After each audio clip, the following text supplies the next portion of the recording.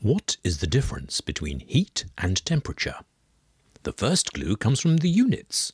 We measure temperature in degrees Celsius, or, if you're a proper scientist, kelvins, while heat is measured in joules, the unit of energy. So, heat is a form of energy. We can think of it like amounts of water in different containers. If temperature is represented by the depth, we can think of heat as the amount of water needed to fill to that depth. As these containers are different shapes, they need different amounts to fill to the same level. But with heat, it's not just an object's size that affects temperature rise. The type of material is also important. The material property that describes how heating and cooling changes temperature is specific heat capacity. For water, it's 4,200 joules of energy per kilogram degrees Celsius. So, 4,200 joules of energy are needed to raise the temperature of 1 kilogram of water by 1 degree Celsius.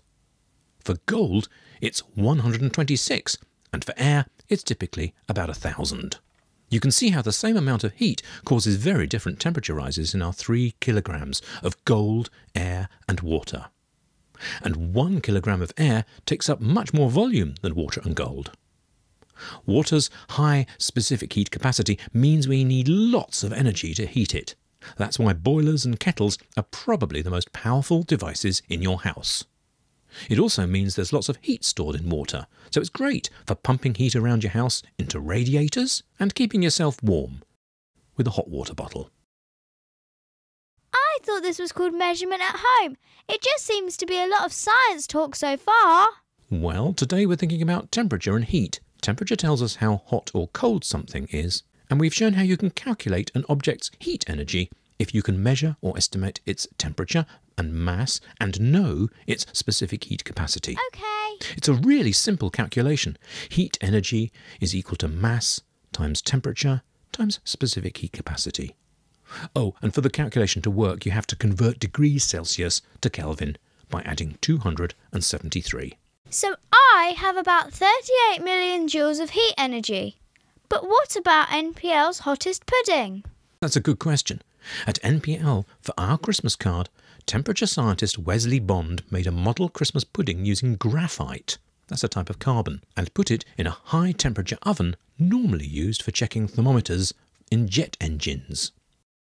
Graphite has a very high melting point, so Wesley was able to get it to an astonishingly high temperature of 2200 degrees Celsius. So here's the calculation for the hot pudding.